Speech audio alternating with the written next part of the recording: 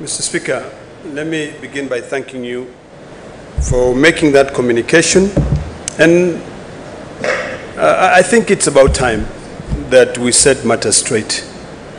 I want to comment on your communication, maybe just react to it in a very civil and polite manner. You've indicated, which I completely agree with you, that this House shall be guided by the standing orders.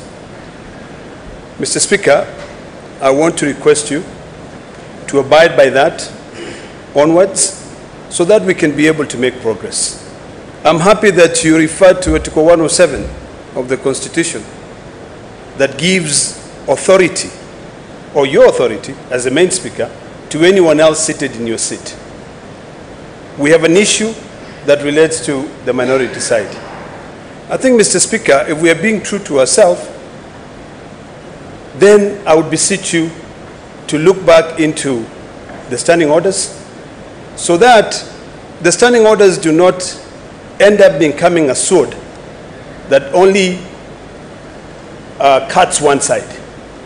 The sword should be, if it is used for both sides, if the standing orders are quite clear and they are explicit in terms of what should follow, then that should be the case.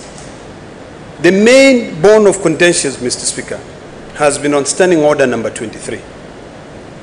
The other main issue has been on issue sub judice. These are the two matters that this House has pronounced itself more than once on what should ensue. So, Mr. Speaker, with following on your communication, I'd like to beseech you to re-examine everything that has happened here. Yes, today you found it, you know, fit to reprimand us for our behavior. And being very polite, I would say the standing orders have been drafted to guide this House. It will be very unfair if the standing orders will only be used to reprimand any senator who complains, but when a matter is completely explicit, it can, it, it, it's overlooked.